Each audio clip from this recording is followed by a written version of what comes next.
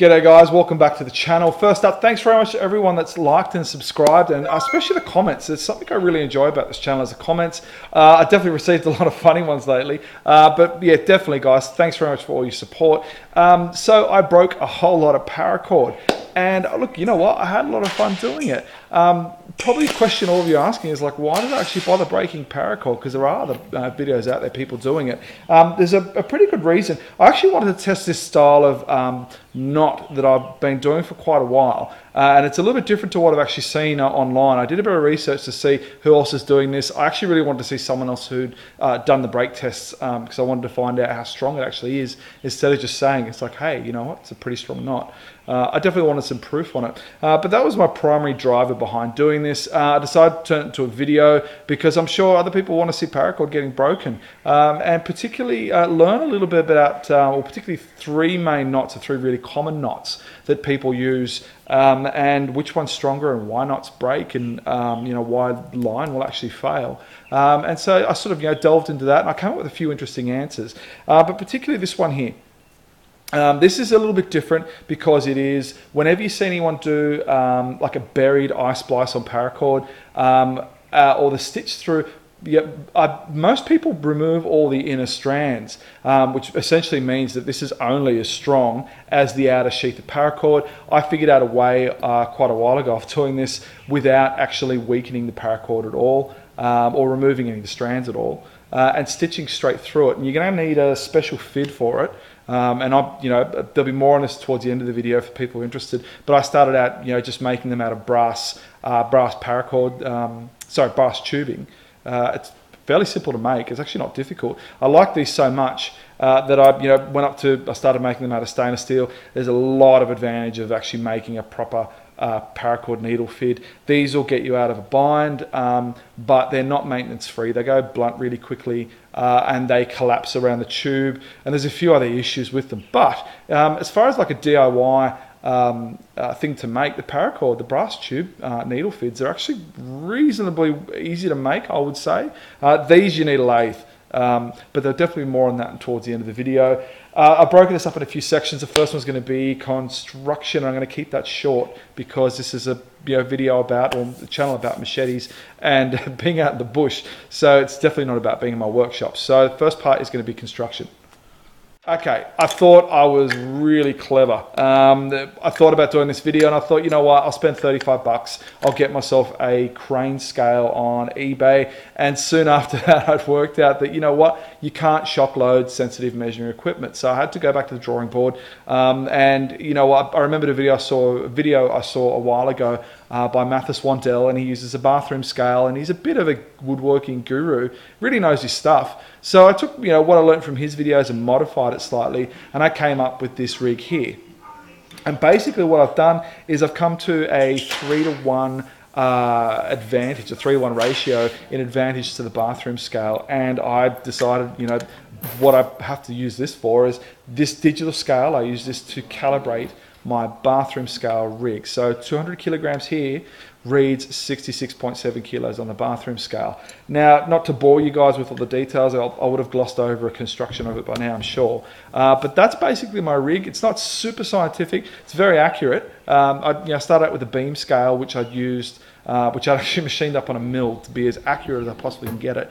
Uh, that was from a build that I did years ago. Uh, I just modified that so I could use it on the engine crane uh, to uh, set up this rig for you guys. Now the next step, this is going to be the bit that's going to be the most interest to everyone, is the three control knots which I tested because I needed one knot where the uh, that was basically stronger um, than the line strength of the paracord, and that's what I worked out. So this next section is on me finding out the control knot. All right, control knots. Uh, I tested three. Uh, one of them is a really common one that most people know about. Most tradies know about it anyway, because if you tie a rope on a trailer, uh, if you tie a rope on the back of a ute, um, a lot of other people know it as well, but it's the clove hitch. It's one of the simplest ones. It's one of the first ones you learn as a tradie. That's what I remember anyway. Um, I tested that one. I tested the figure eight follow through. Now, this is a bit of a holy grail knot for uh, abseilers, riggers, rock climbers. Um, I, I actually designed this whole rig to take that because I just took it on face value that it was you know one of the better knots. Uh, but the third one I came up with, this is more of a fisherman's knot, and so it was actually quite new to me. Uh, I'm sure a lot of people actually already know about it, but it was called the uh, improved clinch knot. Uh, that is was by far the winner. Um, it was the only one where I could actually get the uh, the line to fail before the knot failed. Now, if you know anything about knots, you know anything about tying knots and lines, um, if, if something's going to fail, it's going to fail at the knot. Okay, obviously that doesn't include a weakened line or you know a weak spot in the line somewhere or a line that has uh, been abraded on a certain spot. Uh, but one thing I found consistently through all these tests was the knot would fail uh, at the first bend, the first harshest bend on the loaded side. Now, if you have a look at this figure eight follow through, you can see I marked the first hard bend or the, the harshest first bend on the loaded side. Uh, that is where it consistently failed on the figure eight follow through. Uh, the clove hitch had the same effect because as you load up that line, the whole knot, as it tightens up, the whole knot rotates around, putting a bend on that main line, and it broke at that spot there. And it's also the same thing with that uh, that um, knot, the eye splice knot that I do.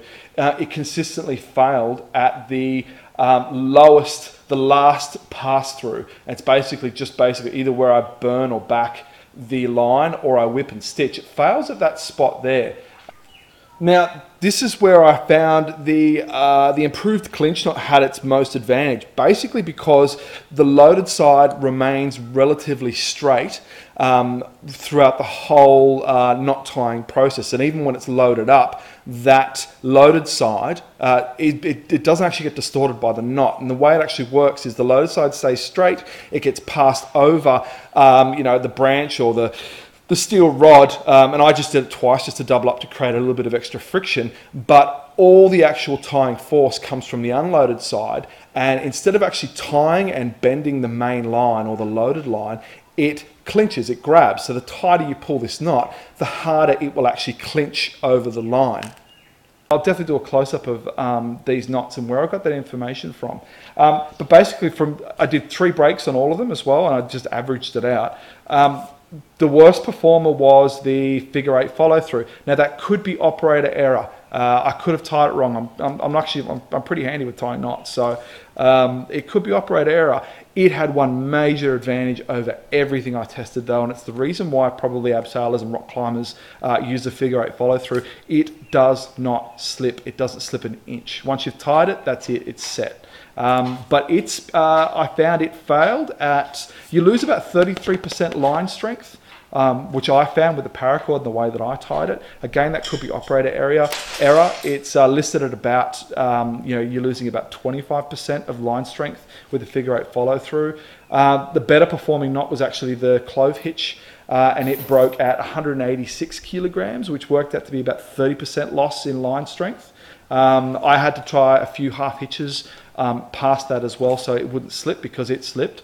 Uh, and the improved clinch knot, which actually slipped the most, but it was part of the resetting of the knot. Uh, because it's so stretchy, the paracord, the paracord's very stretchy, um, it had to slip quite a few times uh, through the tightening process or the stretching process. Um, but it by far, I got the paracord to break at the actual line to break at 270 kilos at one of these um, at one of my tests, which is about I think 590 pounds. Uh, I didn't do my conversion properly on that one, but it's about 590 pounds. Um, the average I found for the improved clinch knot was look, it's anywhere between 260 and 270. So I just did 265. Um, so my whole test I did with everything uh, was based on the improved clinch knot. So every test that I do uh, from next past this video here, at the bottom of it is an improved clinch knot, except for one which I made a mistake with. All right, now back onto the whole point of why I did this video was to test these eye splice or this, this eye splice style knot. Um, I broke it up into uh, two or three sections. The first one, I call it, whenever I say single, double, triple, or quad, all that means is how many times I've passed it through the main line. Uh, so that's the, um, so the first one it was a single and it's stitched and whipped. Uh, and all I mean with that is that basically that little tail that comes back out once I've stitched it through, once I've um, passed it through the main line, is I stitch it really with really strong cord backwards and forwards, and then I whip over that, and it's about look, it's uh, less than half an inch. It's probably about a quarter an inch. It's about uh, six or seven millimeters, and it was a very, very tight whip. And it's something I've been doing for years, and I can do it really well and really tight. Uh, but that is a stitch and a whip. So uh, single, double, and a triple. Uh, basically, the single broke at 126 kilos with a loss of about 52% line strength, which is quite a lot. Uh, the double um, was 174 kilos, which is a loss of about 34%. And here comes one of the first main mistakes which I made is the triple stitched and whipped. Um, I tied a clove hitch at the bottom instead of a uh, improved clinch knot, and it broke at the clove hitch, uh, which is a loss of about 32%. Um, so look, that was a stitched and whipped. The, the next section um, was actually proved to be, I would say, probably the stronger way of actually rigging these up. It's called burnt and backed. And all I've actually done is that once I've passed through my line, however many times I wanted to pass through, I got the lighter and I melted that end and I backed it out. So that you know that plastic ball at the end of the line is pushed hard up against the stitch. So that is backed and burned. Um, the triple uh, failed at 216 kilos, which is a loss of about 18.5%. Uh, the quad uh, burnt and backed uh, was the strongest out of all the knots, uh, except for the improved clinch. Um, was 228 kilos, which is a loss of 14% of line strength. Um, and the quad burnt and heat shrink. I did this one a little bit differently. Um, instead of um, backing it, backing that knot or that ball all the way back to the line, I left the tail and I put some heat shrink. Um, and it failed a little bit early. It was a loss of 22% um, there. Uh, loss of 22% line strength. Um, this told me one really important thing is this whole knot is based on stretch over the whole st- all the all the different stitches because basically what happens is the more you actually pull on this line the harder the main line collapses or presses against your stitches uh, and I think the heat shrink must have got in the way of that.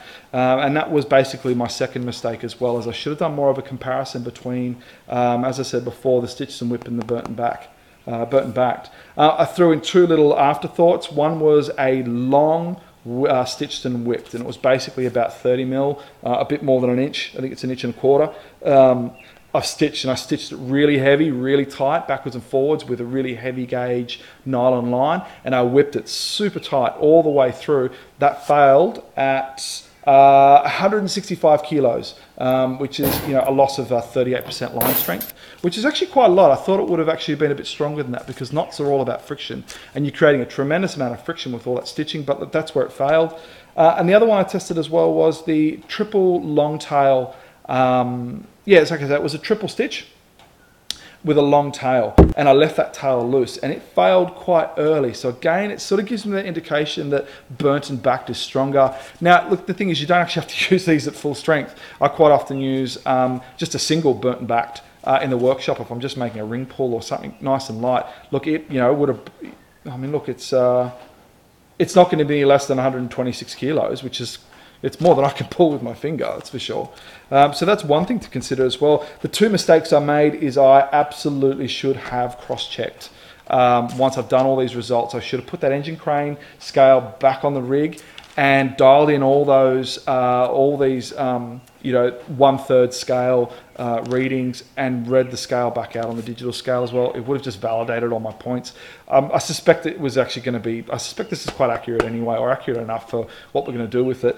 Uh, and the second mistake was already mentioned, as I should have done more of a comparison between burnt and backed and stitched and whipped. Um, look, that's it, I think, on that side of it there. I think this is a whole lot of numbers. But um, look, listen, guys, thanks very much for uh, your support and everything. But more importantly, if you guys want to learn how to tie, um, you know, these uh, these knots, how to make these paracord fids, um, yeah, leave a comment down below. I'll definitely make the effort to film it. I'll film it sooner than later as well, depending on how much um, yeah, how much interest is. there may not be any. I actually don't know. Um, but yeah, definitely leave a comment if you're interested. Um, I'll definitely do a video on how you can make these brass needle fids and how to actually do that style uh, stitch or that eye splice. Um, but look, until next time, guys. Um, thanks very much for your trouble, and I'll see you then.